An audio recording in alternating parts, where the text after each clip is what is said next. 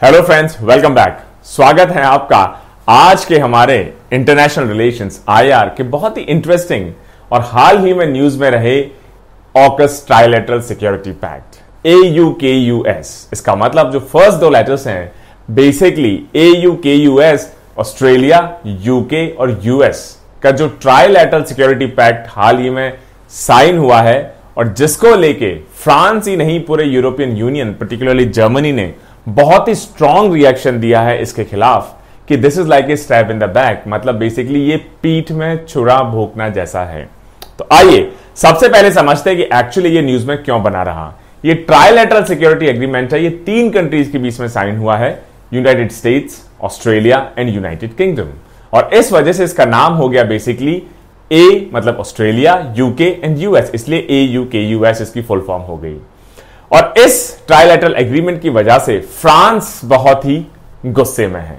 और फ्रांस के साथ पूरा यूरोपियन यूनियन बहुत ही स्ट्रांगली इसको अपोज कर रहा है। इनफैक्ट यहाँ तक यूरोपियन यूनियन ने कहा है कि इससे पता चलता है कि इस दुनिया में कोई किसी का नहीं है। और हम सबको अपना अपना इंतज़ाम अपना अपना ख्याल खुद को रखना होगा दोस्तों। इसका मेन कारण है फ्रांस इतना अपसेट इसलिए है क्योंकि फ्रांस की जो ऑस्ट्रेलिया के साथ एक मेगा सबमरीन डील थी वो बेसिकली अब खत्म हो गई बिना किसी नोटिस के, बिना किसी वार्निंग के। और वो डील इनफैक्ट उससे भी बड़ी डील एक्चुअली अब ऑस्ट्रेलिया ने यूएस को थमा दी है। साथ ही साथ फ्रांस को ह्यूमिलिएशन का भी सामना करना पड़ा, क्योंकि जितने भी नेगोशिएशन हुए, तीनों कंट्रीज़ ऑस्ट्रेलिया यूनाइटेड स्टेट्स और बेसिकली यूके इनके नेगोशिएशन को एकदम सीक्रेट रखा गया और फ्रांस और यूरोप को इसके बारे में कोई बेसिकली इंफॉर्मेशन नहीं दी गई दोस्तों। जो फ्रेंच फॉरेन मिनिस्टर हैं, उन्होंने कहा कि जो एलाइज होते हैं मतलब जो दोस्त होते हैं do not do this to each other मतलब एक दूसरे के साथ ऐसा व्यवहार नहीं करते हैं दोस्तों।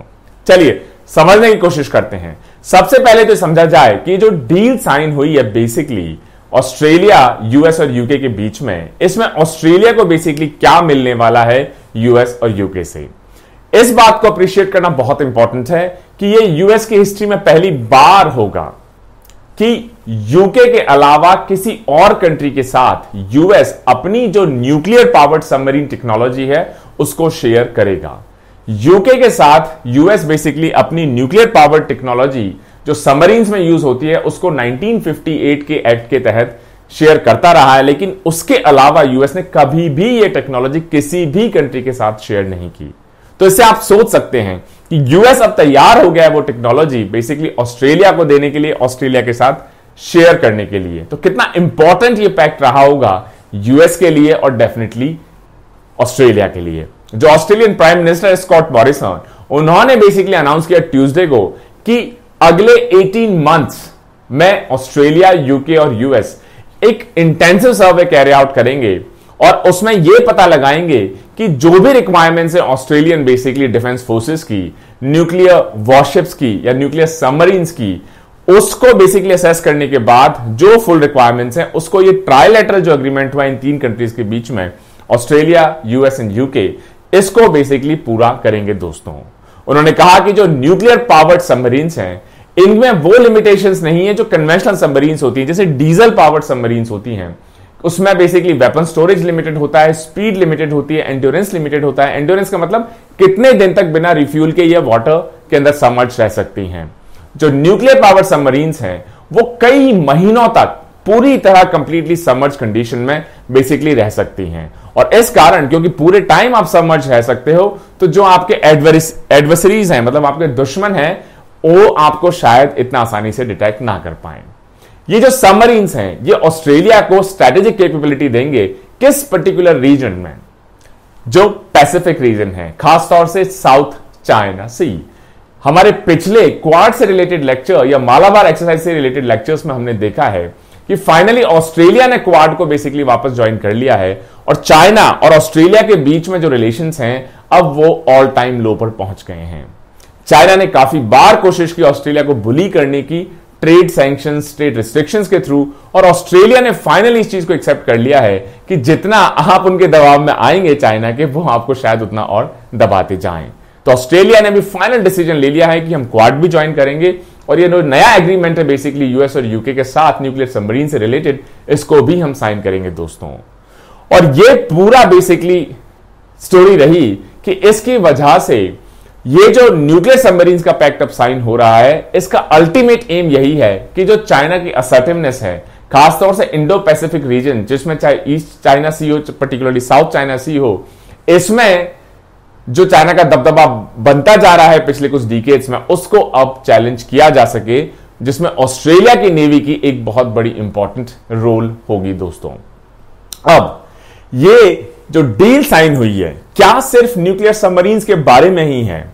तो इसका the long and the short of it it is no ये सिर्फ़ न्यूक्लियर सबमरीन ही नहीं इनफैक्ट उसके साथ एक बहुत बड़ा integrated weapon system basically Australia को दिया जाएगा। इनफैक्ट इस पैक्ट के थ्रू यह बहुत क्लियर हो गया कि अमेरिका अब विलिंग है ऑस्ट्रेलिया के साथ अपनी जो एकदम state of the art technology है, जो शायद उसने किसी भी कंट्री के साथ या एक या दो कंट्रीज़ के साथ लिमिटेड अमाउंट में शेयर की होगी, अब वो सब चीज़ें ऑस्ट्रेलिया को देने के लिए यूएस तैयार है दोस्तों।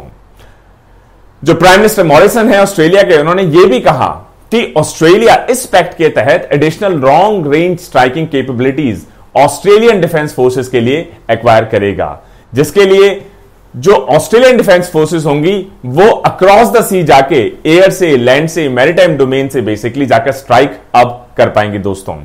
इस डील के तहत बाकी जो वेपन सिस्टम्स हैं, इसमें ऑस्ट्रेलिया को टॉमॉक क्रूज मिसाइल्स भी मिलेंगी और ये टॉमॉक क्रूज मिसाइल्स वही हैं जो अमेरिकन और ब्रिटिश नेवीज बेसिकली यूज़ करती हैं लैंड अटैक्स के लिए अपने शिप्स और सबमरीन से।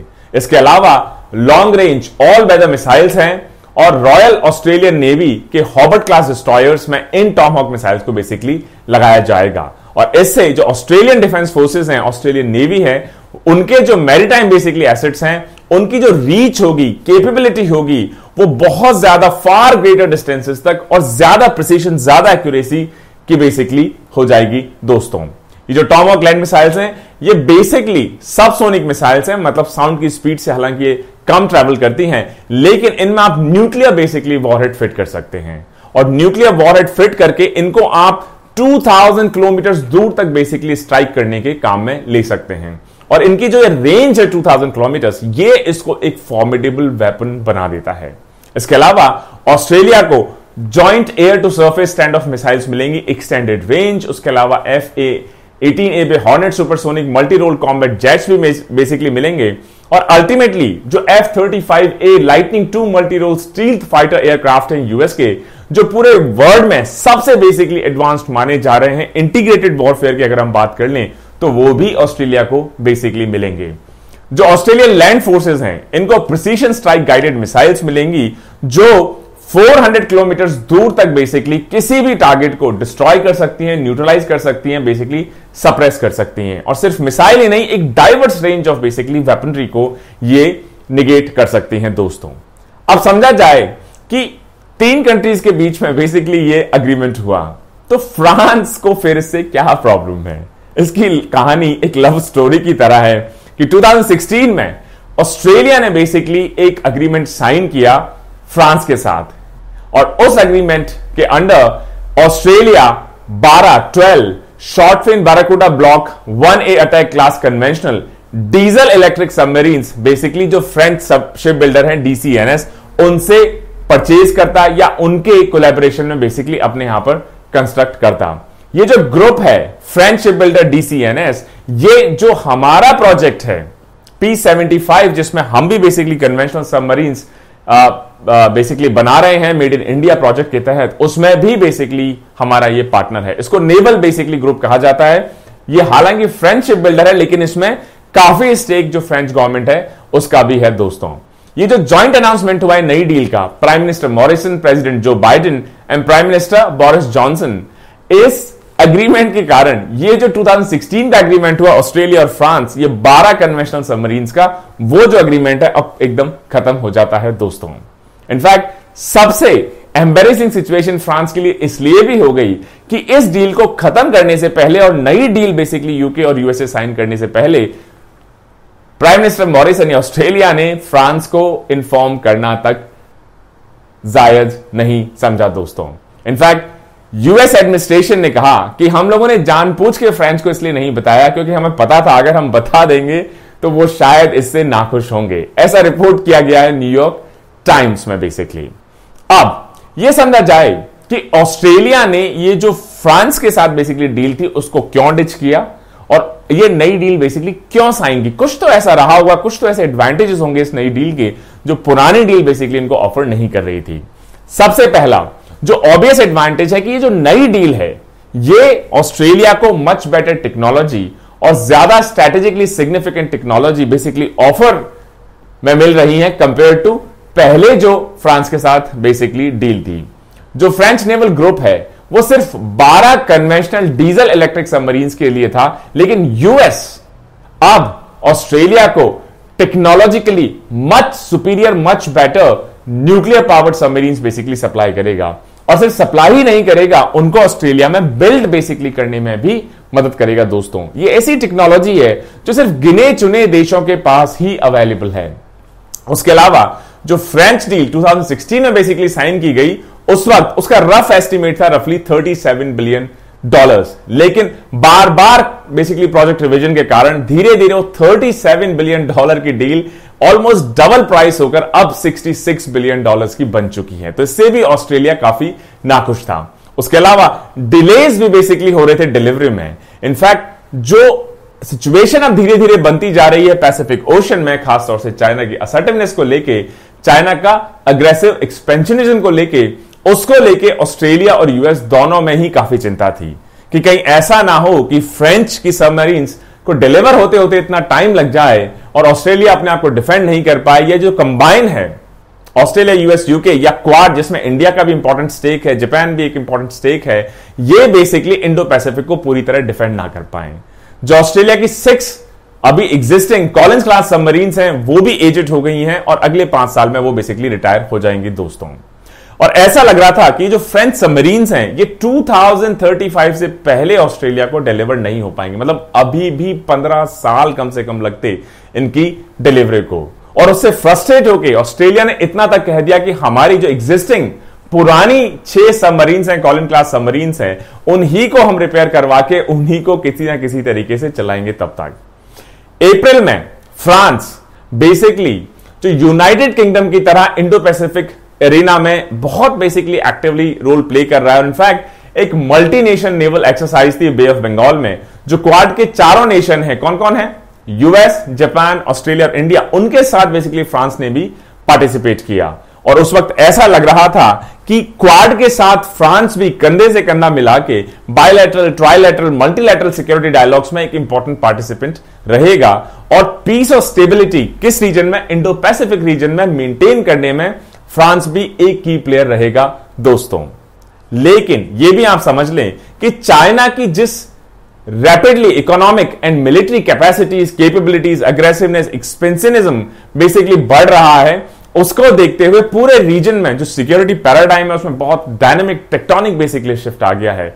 जो चीज़ें शायद पहले एक्सेप्टेबल थी, अब वो एक्सेप्टेबल नहीं है। हर कंट्री बेसिकली एक नए पर्सपेक्टिव से चाइना के इस एक्सपेंशनिज्म भरे बिहेवियर के बारे में, उसको टैकल करने के बारे में अपने मेजर्स ले रहा है। असली जड़ क्या है इस पूरी डील की? ऑफकोर्स इंडो पैसिफिक रीजन यही है इस पूरी कहानी का कोर इशू अगस्त में Japan defence minister, Japanese defence minister ने जो बजट इस बार जापान का रहा है डिफेंस का, उसको 2.6 परसेंट बढ़ा के कितना कर दिया होगा? रफली 50 बिलियन डॉलर्स इससे पहले जापान का एक अनसेट ट्रेडिशन था कि बेसिकली अपने डिफेंस बजट को कभी भी वो एक परसेंट से ज़्यादा नहीं बढ़ाएँगे। लेकिन इस बार हुआ है कि उसको एक परसेंट से 2.6 परसेंट मतलब सीधा ढाई गुना की बेसिकली बढ़ोतरी आप कह सकते हैं। और जापान ने ताइवान ताइवान स्टेट के आसपास जो चाइना का मसल फ्लेक्सिंग चल रहा है, उससे बेसिकली वरी होते हुए इन स्टेप्स को उठाना ज़रूरी समझा है। साथ ही साथ आप ऑस्ट्रेलिया का डिफेंस बजट देख लीजिए। ऑस्ट्रेलिया ने भी अपना डिफेंस बजट बढ़ाकर इस साल, नौ साल लगातार डिफेंस बजट बढ़ाते हुए, इस साल बेसिकली 4.1 परसेंट उसको बढ़ाया और टोटल रफली 35 बिलियन डॉलर्स तक ऑस्ट्रेलिया का डिफेंस बजट भी आ गया है। ये जो नया पैक्ट साइन हुआ है A U K U S Australia UK and US ये फैसिलिटेट करेगा जो ट्रांसफ़र ऑफ़ न्यूक्लियर सबमरीन है प्रोपल्शन सिस्टम्स हैं मैन्युफैक्चरिंग टेक्नोलॉजी है, ऑस्ट्रेलिया को।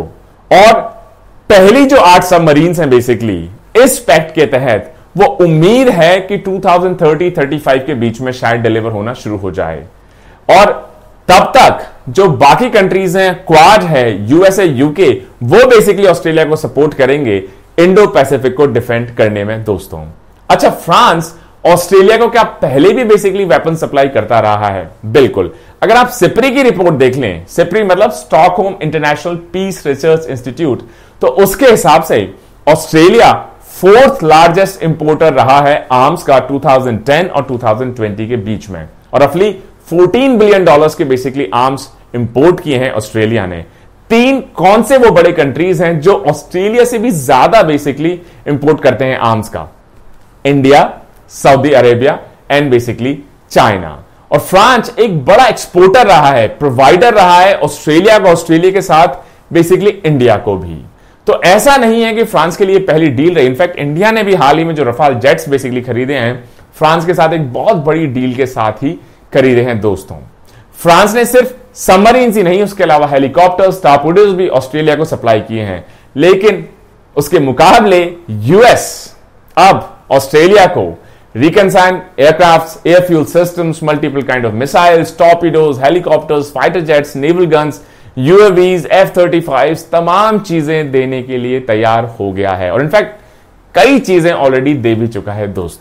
तो दोस्तों ये रहा हमारा आज का short lecture A U K US basically जो डील साइन की trilateral between Australia UK and US मुझे उम्मीद है दोस्तों आज का लेक्चर आपको पसंद आया होगा। Stay tuned for our next set of videos. Until then, Jai Hind, Jai Bharat.